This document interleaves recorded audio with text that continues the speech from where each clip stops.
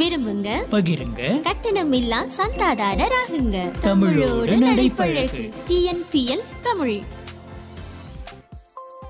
High hello வணக்கம். Welcome to team bill Tamil எல்லாரும் எப்படி இருக்கீங்க? இந்தியா பங்களாதேஷ் ஸ்டோடோகிராம் ஃபர்ஸ்ட் ஸ்டூடியோ டே டூல என்ன நடந்துச்சு அப்படிங்கிறத பார்க்கலாம். இருநூத்தி எழுபத்தெட்டுக்கு ஆறு அப்படிங்கிற நேற்றைய நாள் ஸ்கோரோட இந்தியா கிளம்புறாங்க பார்த்தா குல்தீப் யாதவ் என்னை பத்தி கேட்ட மாதிரி என்னையா எதுக்கு டீம்ல எடுத்தாங்கன்னு நேற்று வீடியோ போட்ட மூணு ஸ்பின்னர் தேவையான போட்டா அப்படிங்கிற மாதிரி பதிலடி கொடுக்குறாரு. ஸ்பின்ல மட்டும் கொடுக்கலங்க பேட்டிங்ல கொடுத்துறாரு ரவிச்சந்திரன் அஸ்வின் ஒரு பெஸ்ட் ஆல்ரவுண்டர் அப்படிங்கிறது நிரூபிக்கிற வகையில் ஒரு சூப்பரான ஃபிஃப்டி குல்தீப் யாதவும் ஒரு செமையான பண்ணசி பாருங்க. நூத்தி பதினாலு பால் நின்று குல்தீப் யாதவ் ஒரு நாற்பது ரன் அடிச்சு ஒரு ஃபிஃப்டி அடிச்சிருவாரு அப்படின்னு நம்ம எதிர்பார்த்தோம். பட் அவரால் அடிக்க முடியல.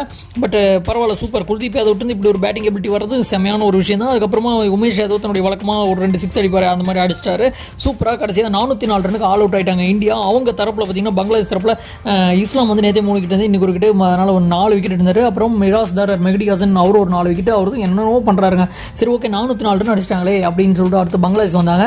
பங்களாதேஷ் வந்து பார்த்தீங்கன்னா இன்னைக்கு ஆல் அவுட் ஆயிடுவான்னு பார்த்தேன். அதில் நூற்றி முப்பத்தி மூணு ரன் எட்டு விக்கெட் அப்படிங்கிற நிலையில் இருக்கிறாங்க பங்களாதேஷ் அணியினர் பார்த்தீங்கன்னா ரொம்ப பரிதாபமாக ஒன்றும் சொல்லிக்கிற மாதிரி பாருங்க. யாருமே ஸ்கோர் அடிக்கல.